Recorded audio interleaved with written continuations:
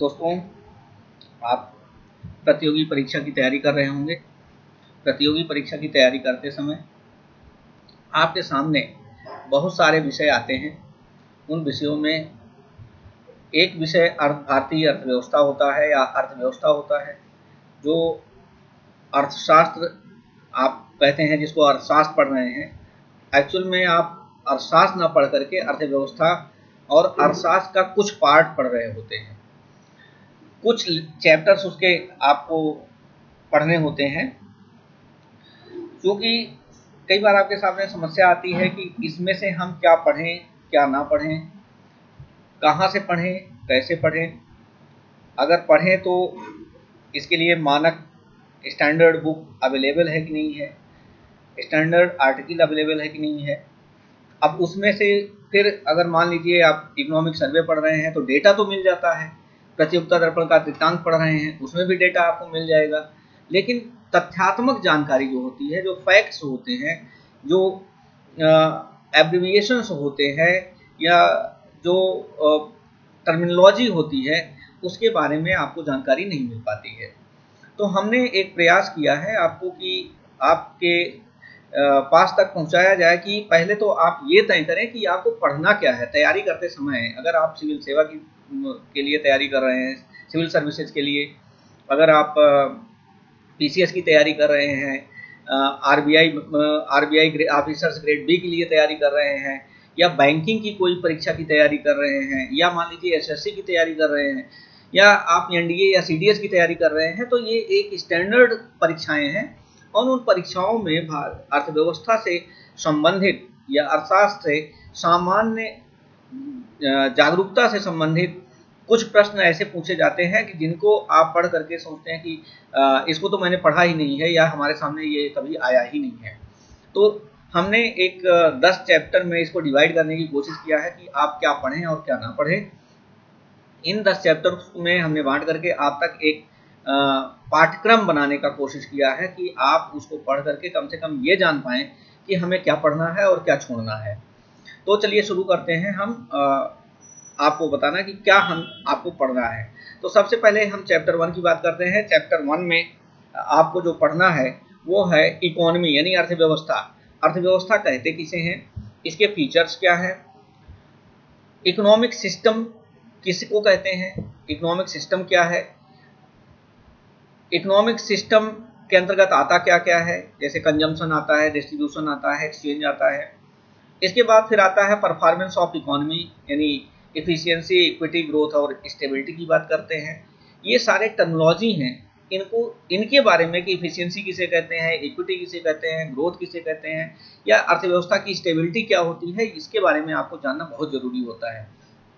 आइए economics economics के हम बेसिकली दो पार्ट करते हैं करते हैं माइक्रो एंड मैक्रो मैक्रो को फिर हम कई पार्ट में डिवाइड करते हैं, जैसे monetary economics public finance international economics agriculture economics industrial economics environmental economics अब इनके बारे में आपको बहुत ज़्यादा डिटेल नहीं पढ़ना है।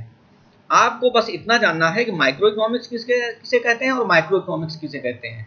फिर इसके बाद मॉनेटरी इकोनॉमिक्स में एक आध दो चैप्टर ऐसे होते हैं, जैसे मनी और बैंकिंग होता है, जो जिसकी चर्चा हम आगे करेंगे अभी। पब्लिक फाइनेंस में जैसे बजट की बात करेंगे। इंटरनेशनल में इंटरनेशनल इकोनॉमिक्स में हम जैसे बैलेंस ऑफ़ पेमेंट की बात करते हैं, या बैलेंस ऑफ़ ट्रेड की बात करते हैं एग्रीकल्चर इकोनॉमिक्स में हम केवल एग्रीकल्चर पॉलिसी की बात करते हैं इंडस्ट्रियल इकोनॉमिक्स में इंडस्ट्रियल पॉलिसी की बात करते हैं इन्वायरमेंटल पॉलिसी की बात करते हैं। तो हमको बहुत ज़्यादा इसके अंदर नहीं घुसना है, बहुत इसके कुछ पार्ट्स को जो हम आगे चल करके अभी आपको बताने, बताते हैं, बताने की कोशिश करेंगे कि उसको ही आपको पढ़ना है और उससे ज़्यादा उसके बारे में कुछ भी नहीं पढ़ना है। फिर इसके बाद आते हैं कि इकोनॉमी कितनी तरह की होती है। जैसे आप जानते हैं डेवलप्ड इकोनॉमी होती है डेवलपिंग इकोनॉमी होती है, ये तो सामान्यतः हम आप जानते हैं। लेकिन डुअल इकोनॉमी या रेड डंकी डंकी किसे कहते हैं? या थर्ड वर्ल्ड इकोनॉमी कई बार हम प्रयोग करते हैं। ये थर्ड वर्ल्ड इकोनॉमी क्या है? इसके बारे में भी आपको जानना बहुत ज़रूरी है। इससे भी कई बार प्रश्न पूछे जाते हैं। इसके बाद फिर आइए क्रोनिक कैपिटलिज्म वर्ड आपने सुना होगा क्रोनिक कैपिटलिज्म लेकिन इसको है क्या? क्रॉनिक कैपिटलिज्म आपको जानना बहुत ज़रूरी है। मार्केट इकोनॉमी किसे कहते हैं? मिक्स्ड इकोनॉमी किसे कहते हैं? Plant economy black economy capitalist economy और सोशलिस्ट इकोनॉमी क्या है? और मिक्स्ड इकोनॉमी क्या है? ये सब आपको जानना बहुत ज़रूरी है और इससे अक्सर सामान्यतः प्रश्न पूछे ही जाते हैं। फिर इसके बाद कभी कई के बार शब्दों में डिफरेंस डिफ्रेंशिएट किया जाता है कि इकोनॉमिक ग्रोथ किसे कहते हैं इकोनॉमिक डेवलपमेंट किसे कहते हैं और इकोनॉमिक प्रोग्रेस कहते हैं। यानी अर्थव्यवस्था में ग्रोथ शब्द हम कब प्रयोग करते हैं और डेवलपमेंट शब्द कब प्रयोग करते हैं और प्रोग्रेस कर, करते हैं। सामान्यतः आपको लगता होगा कि ग्रोथ डेवलपमेंट या प्रोग्रेस एक ही वर्ड के पर्यायवाची हैं लेकिन ऐसा होता नहीं है। ये बिल्कुल दोनों तीनों अलग अलग शब्द हैं। अलग अलग संदर्भों में अर्थव्यवस्था में इसका अलग अलग ढंग से प्रयोग किया जाता है।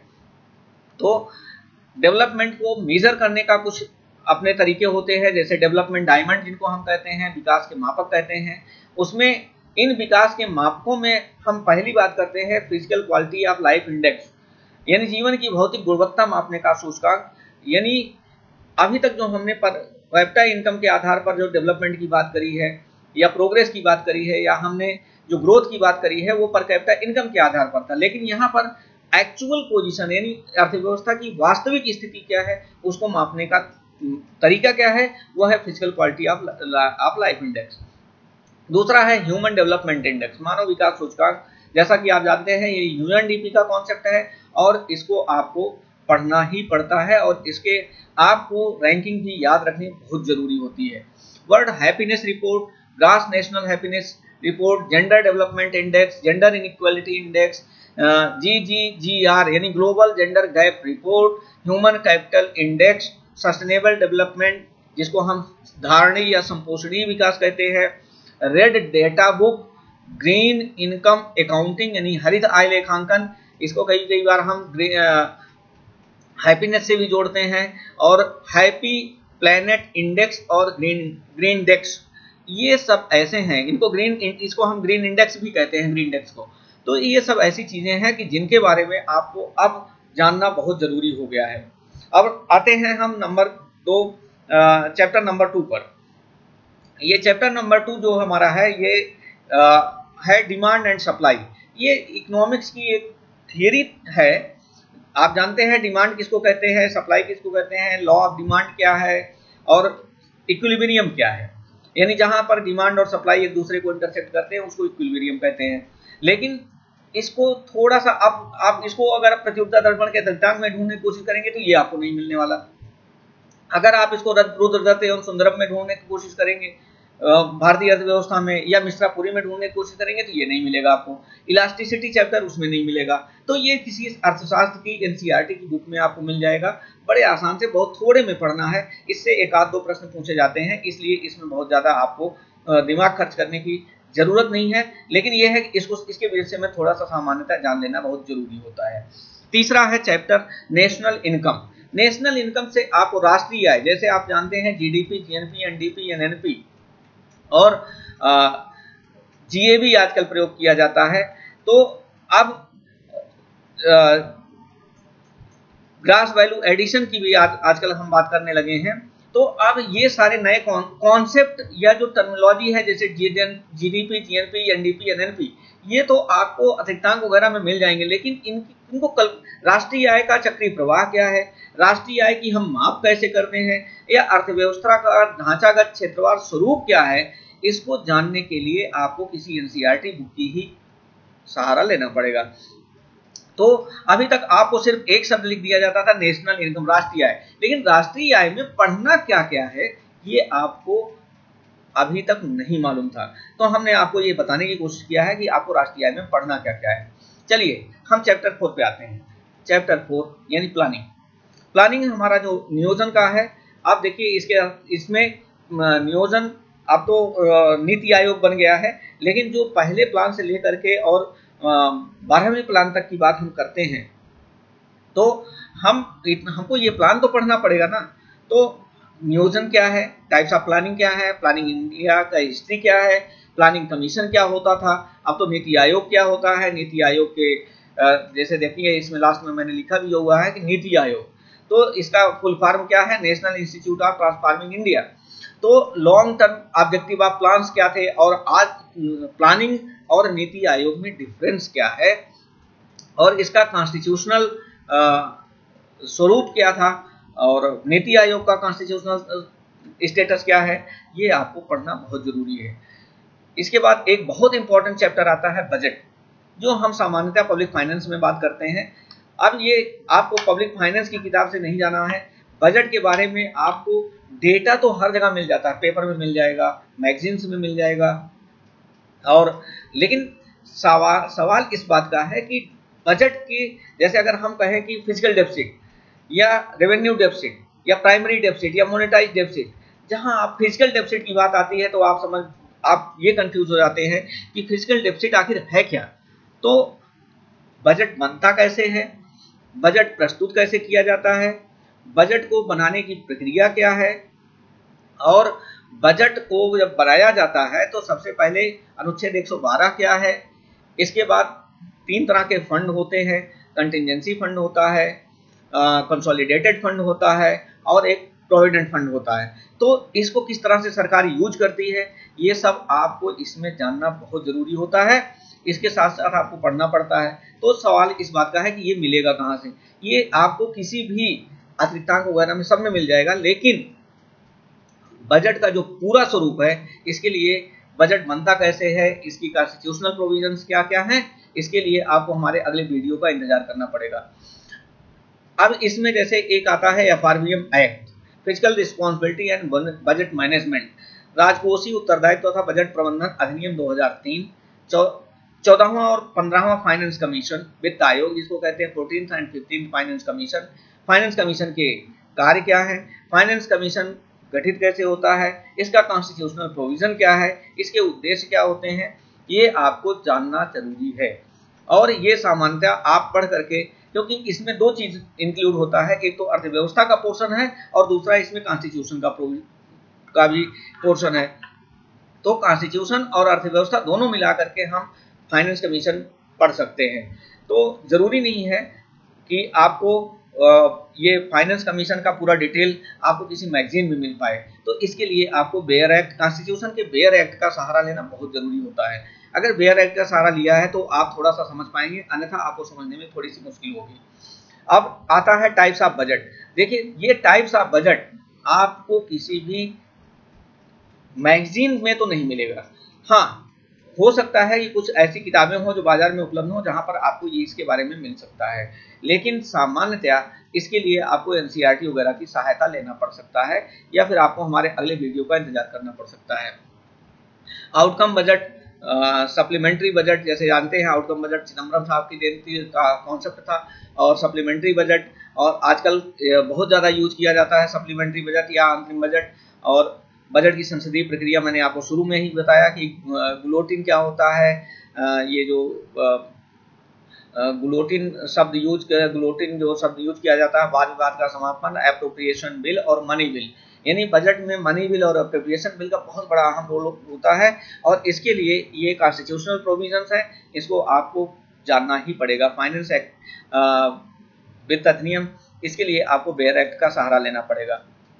अब चैप्टर सिक्स आता है टैक्स टैक्स कहते किसे हैं? अब फिर से एक बार हम वही बात कर रहे हैं कि टैक्स राजस्व प्राप्तियों की बात करती है सरकार टैक्स की बात करती है, लेकिन अब देखिए इस समय टैक्स का स्ट्रक्चर बहुत बदल चुका है। अब जीएसटी आ चुका है। तो हम, हमको शुरुआत तो करना पड़ेगा ना कि टैक्स क्या होता है? टैक्स के प्रकार कौन कौन से होते हैं? हम कौन कौन से टैक्स लगाते थे? कौन कौन सा टैक्स केंद्र सरकार लगाती थी? कौन कौन सा टैक्स राज्य सरकार लगाती थी? सेवा कर कहाँ कहाँ पर लगता था कहाँ कहाँ पर सेवा कर नहीं लगता है।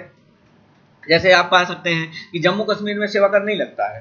तो लेकिन अब इसके बारे में तो आपको पढ़ना पड़ेगा ना कि वैट क्या था, सेल्स टैक्स क्या था, मान वैट क्या था, और किन किन टैक्स को मिला करके जीएसटी बना। और जीएसटी पर मैं बहुत जल्दी ही एक वीडियो लेक्चर आपके सामने प्रस्तुत करने जा रहा हूँ। ये हमारे ख्याल से सितंबर फ़र्स्ट वीक में आप तक पहुँच जाएगा। और जैसे ही जीएसटी पर हम आपको लेक्चर देंगे उसी के तुरंत बाद हम आपको जीएसटी पर आधारित जितने भी प्रश्न पूछे जाने वाले हैं, जो परीक्षा में पूछे जा सकते हैं, संभावित प्रश्न। देखिए जीएसटी पर बहुत सारे वीडियो लेक्चर्स अवेलेबल हैं यूट्यूब पर। लेकिन उन वीडियोस को देखने से आपको दो चीज़ कंफ्यूजन होता है। एक जीएसटी होता है कि व्यापारियों के पर्पज से कि उनका जीएसटी हमें फ़ाइल कैसे करना है? जीएसटी का हमें कैलकुलेशन कैसे करना है? जीएसटी का हमें जीएसटी हमें आ, कैसे कैसे लागू होना है कहाँ कहाँ लागू होता है कैसे कैसे करना है? और दूसरा होता है एक स्टूडेंट के पर्पज से कि जीएसटी का कॉन्स्टिट्यूशनल प्रोविज़न क्या है जीएसटी की हिस्ट्री क्या है? या आपको जीएसटी का आ, जो जीएसटी से कौन कौन से क्वेश्चन कहाँ कहाँ से बन सकते हैं? तो हमारा उद्देश्य जो है वो दूसरा है। व्यापारियों का उद्देश्य जीएसटी के प्रोफार्मा या जीएसटी के एप्लीकेशन पार्ट पे है। हमारा और जो हमारा जो पर्पज है वो जो हमारा आ, हमारी आवश्यकता है वो एप्लीकेशन पार्ट नहीं है हमारा थ्योरेटिकल पार्ट है। तो इसके बाद फिर आते हैं कि ये जीएसटी का हम आपको सितंबर के फ़र्स्ट वीक में आपको ये वीडियो लेक्चर आप तक पहुँचा देंगे। फिर इसके बाद आता है ग्रांट्स इन एड सहायता अनुदान किसे कहते हैं? जैसे आप बहुत ज़्यादा कभी ग्रांट्स की बात सुनते रहते होंगे। फिर इसके बाद आता है परमानेंट अकाउंट नंबर यानी पैन पैन कार्ड जो आप पढ़ते हैं, टीडीएस, ई निवारण, Robin Hood tax tonnage tax fringe benefit tax, wealth tax fat tax, Google tax, ये सब आप शायद बहुत कम सुने होंगे। हाँ एक बहुत इंपॉर्टेंट चीज़ आता है इसमें, जिसको हम कहते हैं GAAR. G A A R general anti avoidance rules और S A A R special anti avoidance rules ये बड़ा इंपॉर्टेंट चैप्टर होता है। इससे कई बार प्रश्न पूछे जाते हैं और जनरली आप लोग इसको क्या करते हैं कि समझ में कम आता है, इसलिए इसको आप छोड़ करके आगे बढ़ जाते हैं। इसको कभी मत अवॉइड करिएगा। लेफर कर्व लेफर कर्व या फिलिप्स कर्व कभी कभी पूछ लिया जाता है। या इसके अलावा कभी कभी आपसे कुछ ऐसे और थेरेटिकल चीज़ पूछ लिए जाते हैं। सर आर्थर लेबर का उन्नीस सौ चौहत्तर में दिया हुआ कॉन्सेप्ट था। तो इसको भी आप अवॉइड करने की कोशिश मत करिएगा।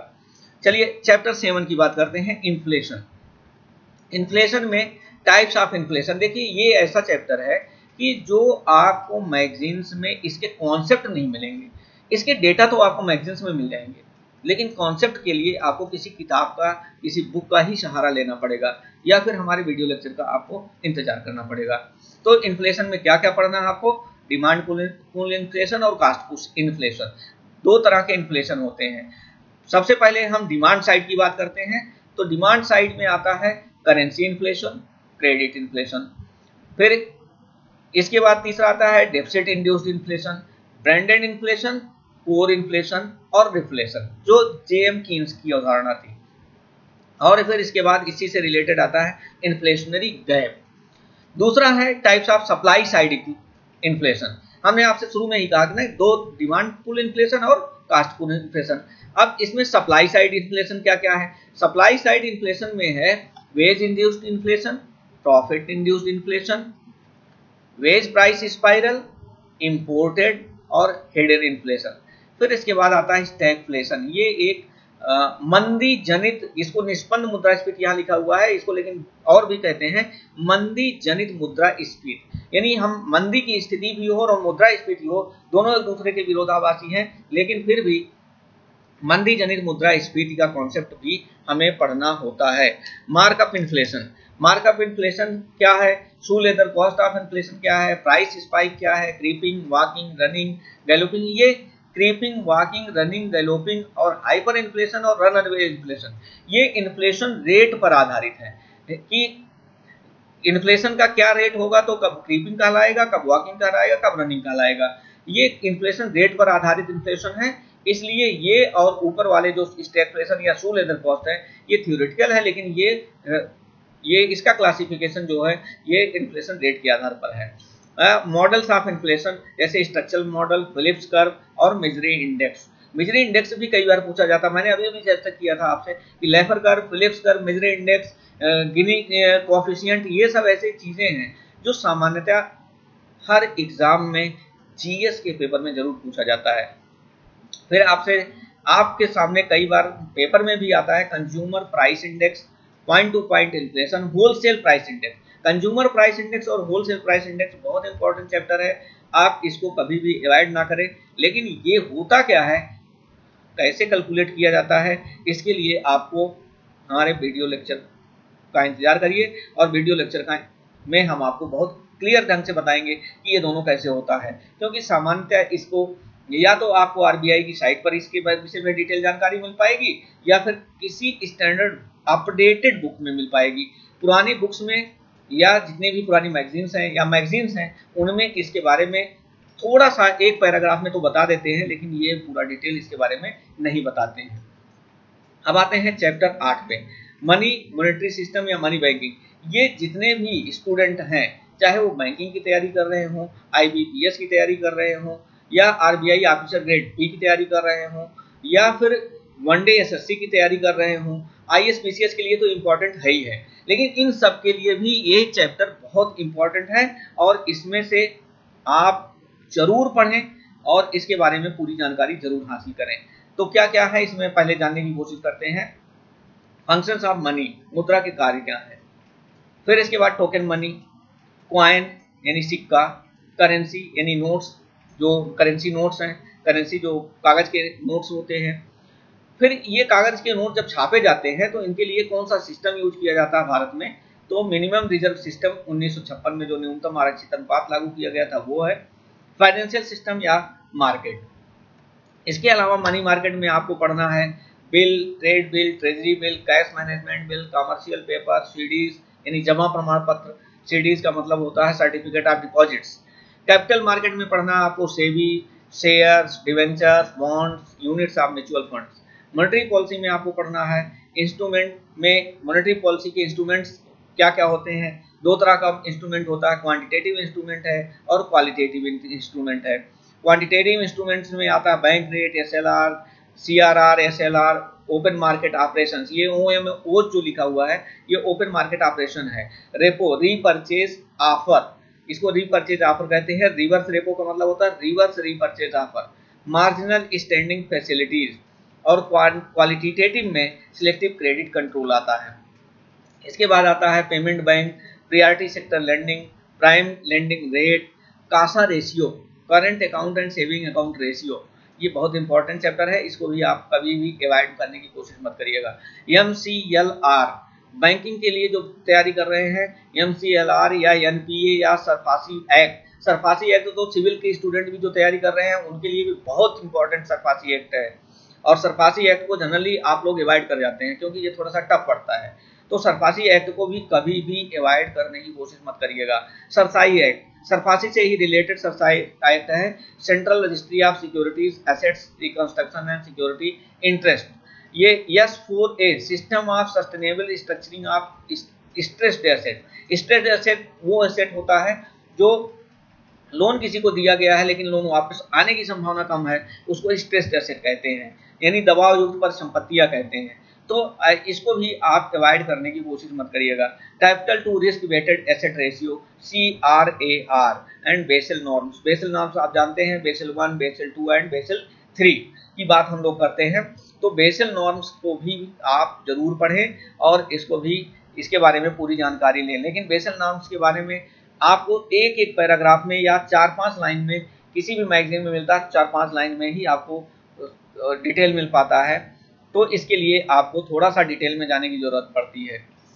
इसके बाद आता है चैप्टर नाइन मनी सप्लाई मुद्रा पूर्त जैसा कि आप जानते हैं कि मुद्रा पूर्त का कॉन्सेप्ट बहुत इंपॉर्टेंट कॉन्सेप्ट है। एक क्वेश्चन तो इससे रहता ही रहता है, कोई भी एग्ज़ाम हो जनरली इससे एक क्वेश्चन रहता ही है। तो मोनेटरी एग्रीगेट में क्या क्या है? M one M two M three M four की बात हम करते हैं।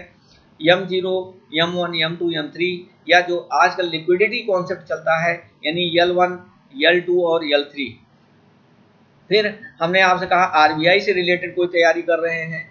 सिविल सिविल वालों के लिए तो ये सारी चीज़ें नहीं है लेकिन जो आरबीआई ऑफिसर ग्रेड बी की तैयारी कर रहे हैं या आईबीपीएस की तैयारी कर रहे हैं बैंकिंग की, वो भी इस चीज़ को नोट कर लें कि आरबीआई से रिलेटेड या मनी सप्लाई से रिलेटेड या बैंक से रिलेटेड या मुद्रा योजना पीएमजेडीवाई प्रधानमंत्री जनधन योजना, बहुत चर्चित योजना थी। आप जानते होंगे इसके बारे में। तो ये सब चीज़ों से प्रश्न ज़रूर पूछे जाते हैं। मुद्रा योजना बहुत वर्तमान प्रधानमंत्री का ड्रीम प्रोजेक्ट है। Local area bank, white level ATMs. ATMs भी कई तरह के होते हैं। जो एटीएम आपके क्षेत्र में लगे हैं, उनके बारे में आपको नहीं मालूम होता होगा कि वाइट लेवल एटीएम्स कौन से हैं, या ब्लू लेवल एटीएम्स कौन से हैं, या ब्राउन एटीएम्स हम किसको कहते हैं। Black money, benami transaction, provision act 1988 को सरकार ने अभी अभी संशोधित किया है। क्रॉनिक टैक्स डिफॉल्टर्स ये चैप्टर आपका बड़ा इंपॉर्टेंट चैप्टर है। तो दोस्तों, इसको हर तरह से थोड़ा सा डिटेल में जा करके और इससे रिलेटेड आंकड़े ही नहीं पढ़ना है। इसके रिलेटेड कॉन्सेप्ट भी आपको पढ़ करके पूरी तरह से तैयारी करनी है। अब बात करते हैं हम चैप्टर दस की, जो फॉरेन ट्रेड से रिलेटेड है। फॉरेन ट्रेड में हमें जो टर्मोलॉजी है, वो आयात निर्यात से संबंधित कौन कौन सी टर्मोलॉजी पढ़नी है? जैसे आप समझ सुनते होंगे, या कई बार आप कहते हैं कि कस्टम का सामान है तो कस्टम ड्यूटी क्या होती है? आखिर में उस कस्टम का सामान आता कहाँ से है? तो कस्टम क्लियरेंस जो लेनी पड़ती है नहीं कस्टम ड्यूटी की बात हम करते हैं। तो custom duty tariff quota dumping anti dumping ये सब ऐसी चीज़ें हैं जिनको हमको पढ़ना ही पढ़ना है। तो हम फिर इसके बाद बैलेंस ऑफ़ पेमेंट या बैलेंस ऑफ़ ट्रेड की बात करते हैं। इसके बाद current and capital account deficit की बात करते हैं, यानी capital and current account convertibility की बात करते हैं, पूंजी खाता परिवर्तनीयता और चालू खाते की परिवर्तनीयता। कब पूंजी खाते की परिवर्तन परिवर्तनीयता लागू की गई थी? कब पूंजी खाते की परिवर्तनीयता लागू की गई थी? ये सब चीज़ें आपको इसमें पढ़नी है। फिर स्पेशल इकोनॉमिक जोन्स पर आते हैं। स्पेशल इकोनॉमिक जोन्स आपके यहाँ कहाँ कहाँ हैं? कौन कौन सा सबसे बड़ा स्पेशल सबसे बड़ा स्पेशल इकोनॉमिक जोन है? वर्ल्ड का सबसे बड़ा स्पेशल इकोनॉमिक जोन कौन सा है? तो इसके बारे में आपको पढ़ना है।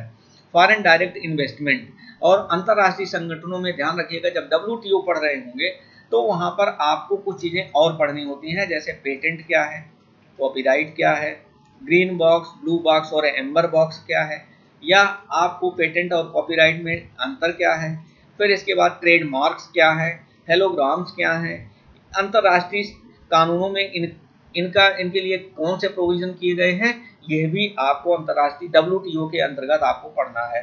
तो अंतर्राष्ट्रीय संगठनों में WTO ASEAN, APEC, OPEC, SAARC और नाफ्टा और साफ्टा, कुछ ये ऐसे संगठन है जिनके बारे में यूरोपीय यूनियन थोड़ा सा इम्पोर्टेंट है। ब्रिक्स या जो अभी ब्रिक्स संघाई शिखर सहयोग संगठन हुआ था तो ये सब ऐसे संगठन हैं जिनके बारे में आपको थोड़ा सा पढ़ना है। विदेशी निवेश एवं ऋण। सरकार, जैसे विदेशी निवेश एवं ऋण की जब बात आएगी तो वर्ल्ड बैंक और आईएमएफ के बारे में थोड़ा आपको जानकारी चाहिए। फिर इसके बाद हम आते हैं। कुछ ऐसे चैप्टर होते हैं जैसे जनसंख्या में। जनसंख्या से संबंधित टर्मोलॉजी होती है sex ratio literacy rate population policy ये सब चीज़ें सेक्स रेशियो में birth rate death rate infant mortality rate ये सब चीज़ें आपको पढ़नी पड़ती हैं। नगरीकरण है और इसके बाद विश्व जनसंख्या एवं नगरीकरण है। तो ये हमने आपको एक जिस्ट देने की कोशिश किया है। अगर आपको इसको डाउनलोड करना है, आपको लेना है ये तो आप स्लाइड शेयर पर हमारे नाम से इसको सर्च कर सकते हैं या इंडियन इकोनॉमी सिलेबस के नाम से सर्च कर सकते हैं। वहाँ पर मैंने इसको पीडीएफ फ़ाइल बना करके अपलोड कर रखा है। आप उसको लेकर के प्रिंट निकाल करके अपने पास रख सकते हैं। और अगर आपको लगता है कि हमने इसमें कोई चैप्टर छोड़ दिया है कोई चैप्टर हमसे छूट गया है या हमने इसमें इंक्लूड नहीं किया है तो कमेंट बॉक्स में आप लिख करके हमें बताना ना भूलेंगे। भूलिएगा आपके कमेंट हमको अपनी क्वालिटी इंप्रूव करने के लिए बड़ा सहयोग होगा। आपके कमेंट बड़े महत्वपूर्ण होते हैं। अगर आपको ये वीडियो हमें आ, अच्छा लगा है या आपको लगता है कि इस वीडियो से आपको आ, आपके काम की चीज़ मिल पाई है तो कृपया इसको सब्सक्राइब करें बेल का बटन दबा करके फिर पुश करके आप इसका नोटिफिकेशन लें और हमारे जितने भी इससे रिलेटेड इस सीरीज़ में आने वाले लेक्चर्स हैं, उनकी जिससे आप तक अपडेट बराबर पहुँचती रहे। उम्मीद करते हैं कि आपको वीडियो अच्छा लगा होगा। बहुत बहुत धन्यवाद। Thank you very much